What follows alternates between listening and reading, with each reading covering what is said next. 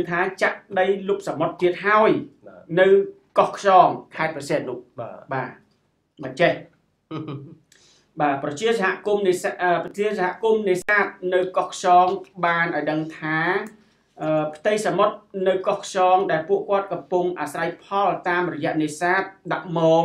ក្តាមបង្គាមឹកងាវយកមកចិញ្ចឹមជីវិតរាល់ថ្ងៃត្រូវបានលោកអុកញ៉ាម្នាក់ចាក់ដីចូលសមុទ្ររំលោភយកធ្វើជាកម្មសិទ្ធិ អស់ប្រមាណ15ហិកតាមិនតែទេលោកបាទពេលនេះកំពុងបង្ចាក់ដីចូលថែមទៀតបាទដោយអាងខ្លួនជាអ្នកមានលុយនិងជាអុកញ៉ាបានចាក់យកដីបំផ្លាញព្រៃកោងកាងអស់ជាច្រើនហិកតាថែមទៀតផងប្រជាសហគមន៍នេសាទបានបន្តថាការចាក់របៀបនេះធ្វើឲ្យពួកគាត់ជាង100គ្រួសារអស់មុខរបរបាទទាំងស្រុងណា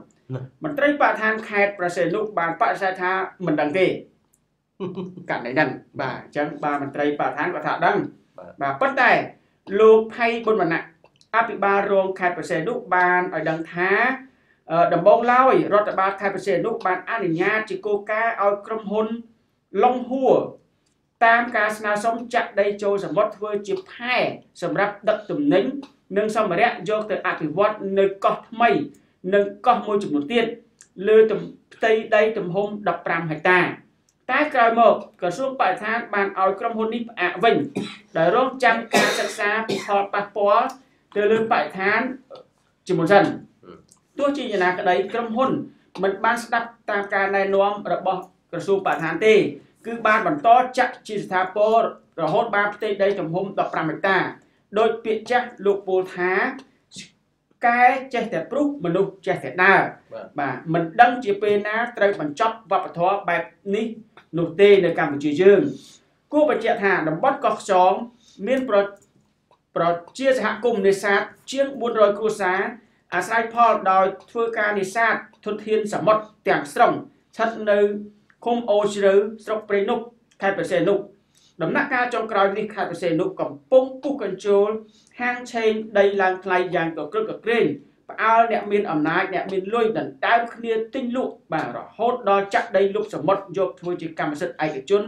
ដោយកកខ្លួនរីឯអាជ្ញាធរសមត្ថកិច្ចពាក់ព័ន្ធដូចជាមានការកម្រើកតិចតួចបំផុតតែប៉ុណ្ណោះបាទបាទអញ្ចឹងផ្នែកខាងបកឋានក៏ឆ្លើយថាមិនដឹងប៉ុន្តែគាត់បានដឹងពីមុនមកថាបាទ ឲ្យដោះស្រាយសិនបាទណាឲ្យចាំគាត់មើលគាត់ដោះស្រាយសិនប៉ុន្តែគាត់ឆ្លើយថាមិនដឹងទៅវិញនេះជាចម្ងល់ចម្ងល់មួយហើយផ្នែកខាងរុក្ខាប្រមាញ់នឹងនេសាទនោះដឹងដែរអត់ទេបាទវាសិនតែប៉ះពាល់ប៉ះពាល់ទាំងអស់ឲ្យតែចូលក្នុងទឹកគឺរបស់គាត់ដែរបាទបាទរុក្ខាប្រមាញ់នៅលើកូននោះក៏របស់គាត់ដែរដើមឈើព្រៃកោងកាងនោះបាទព្រៃកោងកោងហេតុអីគាត់អត់ដឹងដែរឬក៏យ៉ាងម៉េចបាទគាត់អត់ដឹងអញ្ចឹងវាផលវិបាកមួយ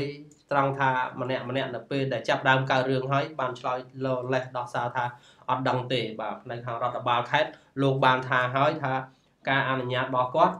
នឹងមានការអនុញ្ញាតហើយក៏ប៉ុន្តែឲ្យការសិក្សាឲ្យច្បាស់លាស់សិនអញ្ចឹងណាបាទបាទអញ្ចឹងបរិស្ថានគេថាចំអាសិនណាគេបាទសិក្សាហើយគាត់ស្ងាត់ឈឹងទៅបាទប៉ុន្តែនៅពេលដែលក្រុមហ៊ុនយកដីទៅចាក់នោះមិនទាន់មានច្បាប់អនុញ្ញាតអ្នកណាមួយត្រូវខាត់